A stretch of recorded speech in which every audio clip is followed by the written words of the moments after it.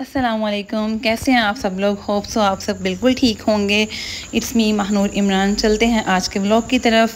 आज सुबह जब मैं उठी, सबसे पहले मैंने अपने लिए एक फ़ेस पैक तैयार किया, जो कि बहुत कैजुअल है। सब, हर घर में ही ऑलमोस्ट यूज़ होता है। इसमें सिंपली करना क्या है आपको उस बेसन ऐड करना है थोड़ी सी हल्दी ऐड करनी है लेमन स्क्वीज़ करना है, और उसके बाद आपको इसमें थोड़ा सा दूध ऐड कर देना है, ठीक है?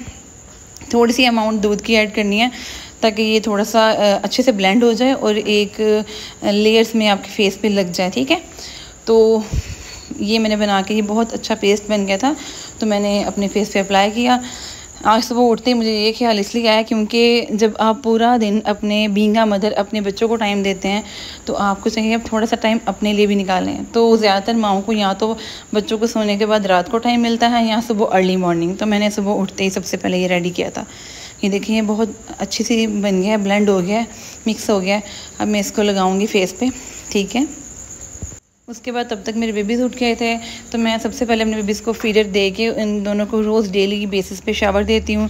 शावर लेने के बाद ये बहुत फ़्रेश फील करते हैं। ऑब्वियसली शावर लेने के बाद हर कोई फ़्रेश फील करता है।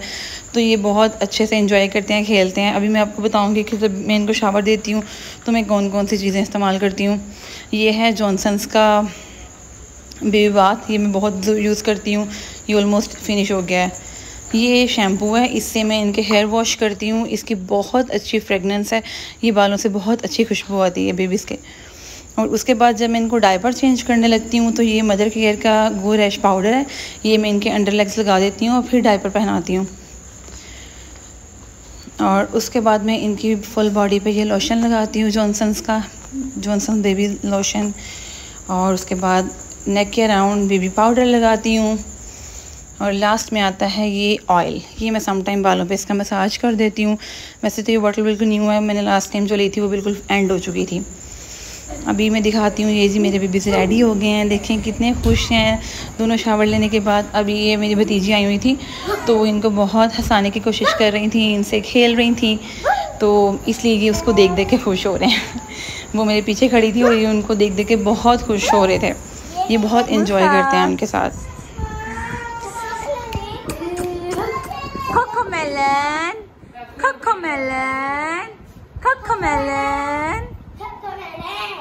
ये देखें जी ये चारों कितना ज़्यादा इंजॉय करती हैं मेरी बेबीज़ के साथ। तो बहुत खुश होती हैं और अभी हमारे खाने का टाइम हो गया था। ये हमने आज दाल चावल बनाए थे। ये मुझे बहुत पसंद है। वैसे तो हमने इसमें मुर्गी भी ऐड की थी लेकिन मुर्गी आई थिंक सो की स्पीड से कहीं भाग गई। और अभी शाम हो गई थी, शाम को वेदर बहुत अच्छा था, बहुत ज़्यादा बारिश हुई, बहुत ज़्यादा, ठीक है तो मैं मौसम को इन्जॉय करने लगी हूँ, ठीक है, तब तक आपसे बाद में होती है मुलाकात, ठीक है, अल्लाह हाफिज़ टेक केयर मिलते हैं नेक्स्ट ब्लॉग में बाय बाय टेक केयर और मेरे चैनल को सब्सक्राइब करें लाइक करें और कमेंट्स करें टेक केयर